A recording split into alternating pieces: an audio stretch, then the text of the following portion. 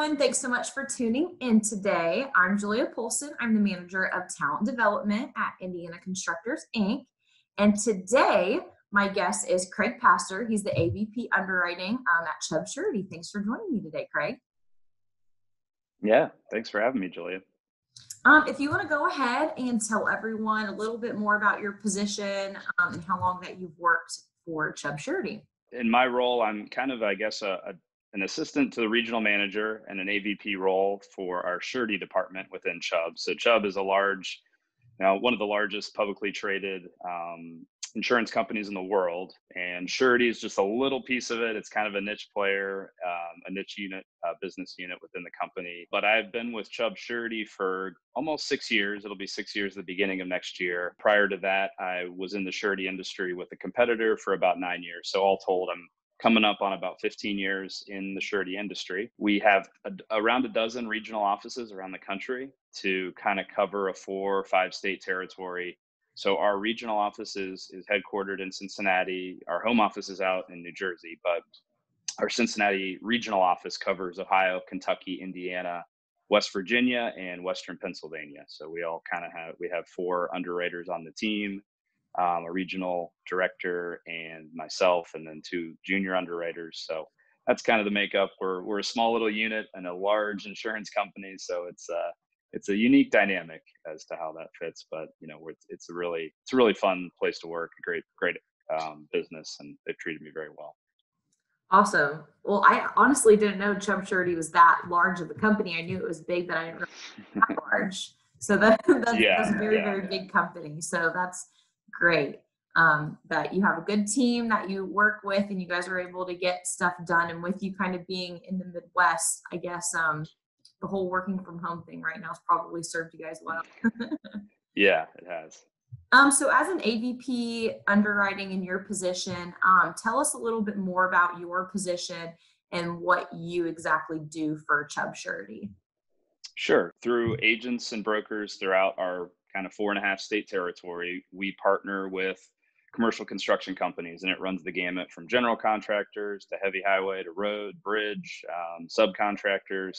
And we partner with them through the agents that we, we work with to provide them surety bonds to support their projects. So on publicly funded project construction projects, that's uh, typically written into law that there needs to be a surety bond to back that project financially and to pre-qualify the contractors that are bidding on it. So that's a good chunk of kind of the, the projects we support for our customers, but we mm-hmm. also um, for certain private projects, um, we also are sometimes the contractor is required to, to, provide a bond to support that project as well. So our job kind of it morphs. I mean, we're we're building relationships for the long term.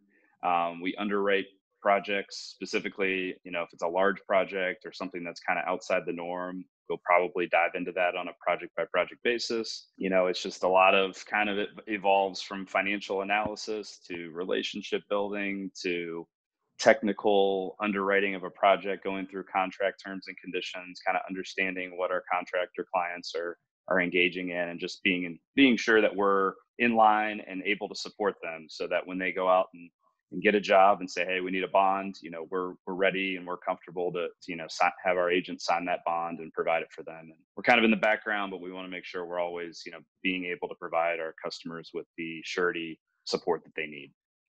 Yeah, and typically when um, someone who's not in our industry in highway construction, um, your little niche part of typically isn't something that um, an outsider would think of. So you're definitely in a unique side of highway construction, which is awesome to learn more about. So with it being unique and you know you're working for such a large company, so highway construction is just a piece of what Chubb Surety um, covers. Tell us how you got into the insurance surety side of highway construction and what keeps you there. Yeah, it's a good question. I nobody knows what surety is until they get into it.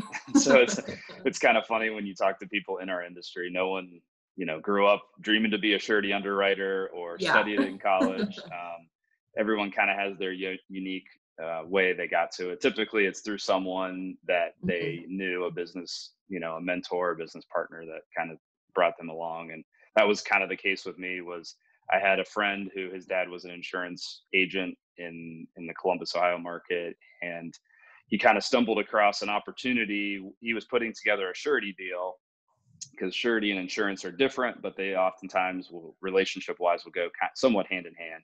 Mm-hmm. So he was an insurance agent, but he had an opportunity to put a surety deal together for one of his customers and was talking to the sh- local surety manager and they just kind of saying, Hey, we're looking to hire someone out of college. This was a long time ago and they were, they had a training program. And so long story short, he, he basically connected me. He said, Hey, this sounds like it's right up your alley. I don't know much about surety, kind of did, a, you know, got my feet wet in this deal, but it sounds like it could be really interesting. Would you have an interest in interviewing or talking to these guys? So I did. And, you know, here I am almost 15 years later, still, still doing it. And, uh, it's really, it's really been a fun journey to kind of learn the industry. It takes a while. It's a lot mm-hmm. through. Nothing you can just throw a textbook at someone and say, "Hey, pass these tests and you're you're good to go."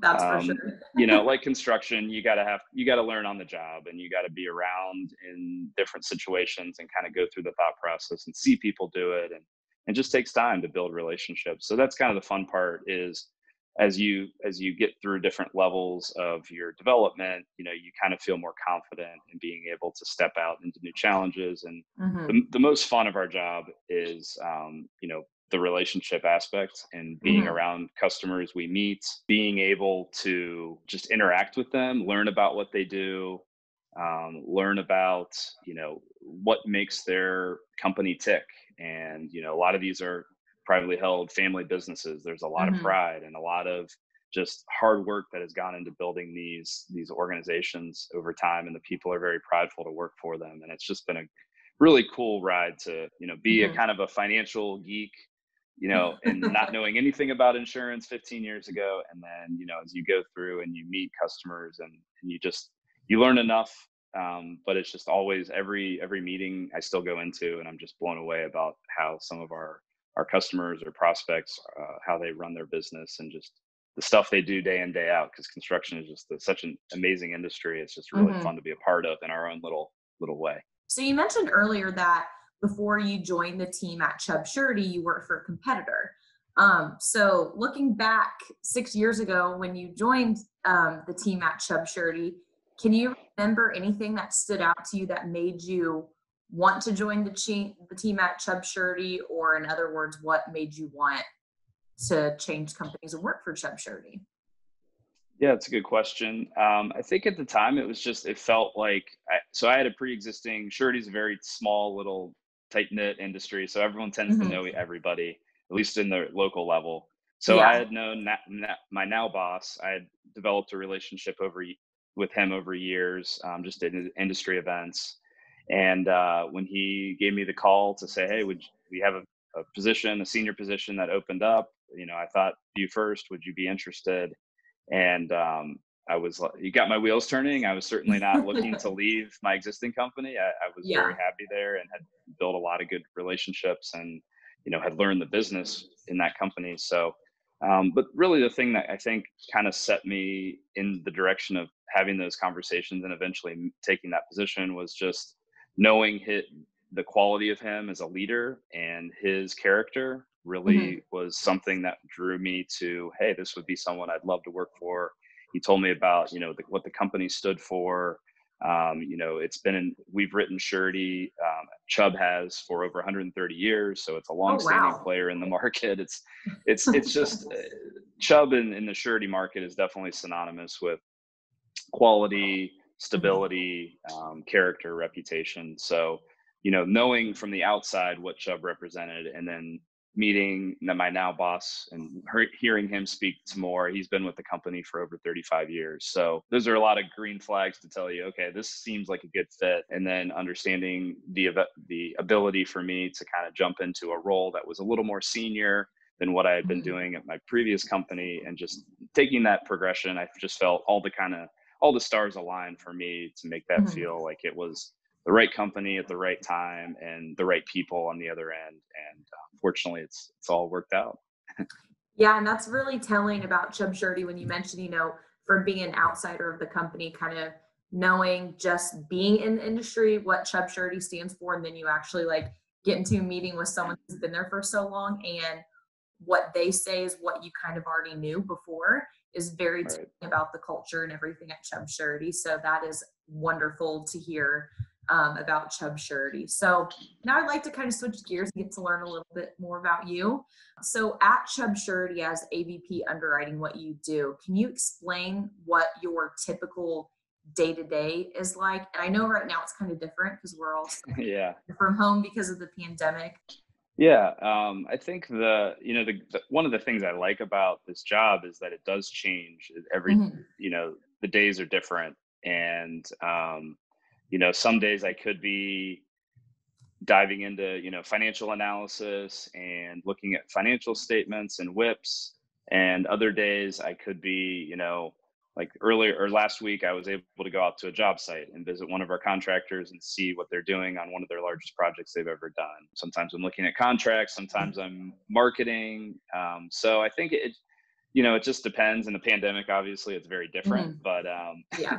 you know the variability of being able to not only you know dive into the numbers and kind of fulfill that part of my brain that loves you know numbers and analysis but also meeting people talking to people learning about what they do that balance and that variety is is great because it really challenges you Mhm. to you know extend your your skill set too i mean you know i can't say that i was always real comfortable walking into a room of people that were mostly older than me and just you know having a cocktail hour or doing something like that but that really stretched me socially was not an accounting major i was an economics major Okay. and um, so i knew enough to be dangerous with numbers but like Yeah.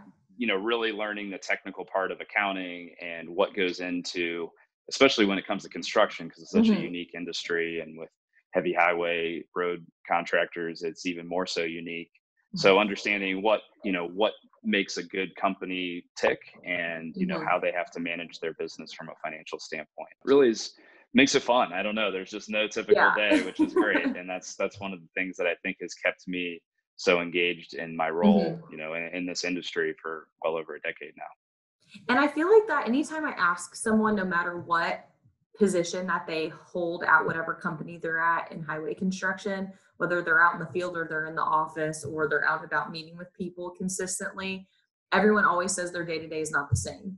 So that's one thing I love about our industry because it does, if it's the same every day, that kind of gets a little mundane and people are like, bah, and kind of get over it. But yeah our industry when your day isn't the same like you mentioned it challenges you and it keeps you engaged more so i'm glad that that is continuing like the continuous answer i get from people because it makes it makes it interesting it makes it fun i know you mentioned earlier one of like your favorite parts of your position at chubb surety is the relationship building aspect of your job what can you say would be like what currently is or what has been the most rewarding part of your job and working in the industry and who knows it may be the same Yeah, there there's been a lot of rewarding parts kind of reflecting on it. Um, Mhm. I would say rewarding in this stage in the last several years of my career has been being able to now get to a point in my career where I can kind of pay it forward and start mentoring some of the younger folks in our organization and seeing their brain start to click when it Mhm. comes because it does take a while to understand what we do oh yeah and it's just this constant evolution of of learning more and more you get to these stages where you feel like okay i kind of understand i mean it took me a year to almost understand what a surety bond was So, you know it takes time and it's Mhm. not that it's super complex or anything it's just it's Yeah. not conventional and it's not something you've ever been exposed to most people haven't so Mhm. um, to have that consistent ability to bring people along in their career development has been really rewarding in these last several or so years where I've had that opportunity. And then, you know, again, relationships, that's internal relationships, but then external Mhm. relationships. Um, it's just so rewarding as, you know, I, when I changed companies five plus years ago, you're somewhat starting over because you have new customers you're working with. But, you know, we have the same relationships with our agents that we, you know, put a lot of um, stock in to be able to provide new business opportunities for us. So those relationships that I've maintained, building new relationships with new customers on the construction end is always rewarding because you just you're always so impressed with the way that you know those people in the construction industry business owners leaders all the stuff everything they put on the line every day and the people Mhm. that they work for or that work for them and you know just the hard work and it, it is truly one of the core businesses of our you know of our country Mhm. and to see that play out and to meet these people hear their stories is always such a rewarding piece and it gives you gives Mhm. you confidence because there's so much negative Oh, stuff yeah. in the news and out in the world today and it kind of gives me that grounding of hey there's a lot of really good people out there working Mhm. hard doing the right thing providing for families and it's that's a really rewarding part of the business when you look externally so that's Mhm. probably the, the most the most rewarding i would say if i look back on the the whole of my career Mhm. Yeah, and it's pretty cool too. Um, and I catch myself doing what my dad did when I was younger, you know, taking detours on our way home places just to check out a project that he was a part of. And I catch myself still doing that. If I'm in an area, I'm like, oh, this is like a that my dad was a part of. But even if I drive past a job site, I always catch myself like trying to see what companies out there. Um, but when you drive past that, it it you know, it's a sense of pride that even if it's not a project that you had direct connection with, it's still something that's being done in your industry um, and just seeing like parts of your community um, being built is really, really great um, to be able to see that in person. And it's cool that, you know, with the clients and customers that you have, you actually physically get to go out on projects. And Yeah. people who aren't in the industry, you know, I, I feel like when they're learning about the industry, um, they don't really understand the feeling when you get on a job site and actually get to see something um, being done that you're a part of. Um, yeah it's been really sorry i'm just to that No, point i was Go just right going to say ahead. like I mean, some of the most rewarding, like thinking about too, some of the most, the, things that jump out to me have been the times we've been out on a job site or Yeah. spent time on a job site with our customers. You know, I've been able to get on a, on a paving machine. I've been able to get on oh, that's you know, awesome. up in a crane, uh, or not in the, in the tower Yeah. crane, but you know, like up in a, on a catwalk or just to see Mhm. various pieces of a job. And these are things that I would never have the opportunity to see nor learn Mhm. um, without you know our connection to so we're just kind of the same thing you know i i never drive by a job site now without like looking to see who's what's Try going on who's out there yeah so but it's it's it's really fun to like feel that you do have in some way a small piece of all this stuff that's you know building our communities um, Mhm.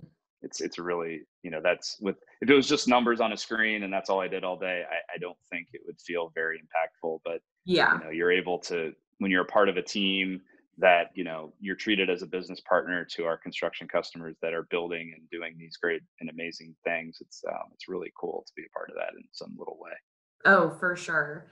Um, but as you know, working at Chubb Surety and AVP underwriting, what would you say is the number one skill set that you would need to have to succeed if you're telling someone about it? up there at the, on the top would be time management um, Mhm. you know because we do have a lot of different pieces to our job in terms of not just you know the in-house analysis but then the outwork or the outward um, marketing skill set and then kind of learning new things and it's just the ability to juggle different elements of the job and Mhm. you know be as good as you can at each one because no two days are going to look the same Yeah. um, there's going to be things that are going to require you to stretch yourself, maybe go on a marketing visit and make a call to an agent that you've never met before, and and so you have to be able to get out there and kind of be a little bit of a self starter when it comes to that. But then you Mhm. also be still need to be able to hunker down and you know analyze a financial statement and a WIP schedule for a few hours. You know that's that's sometimes part of the job too. So. Mhm.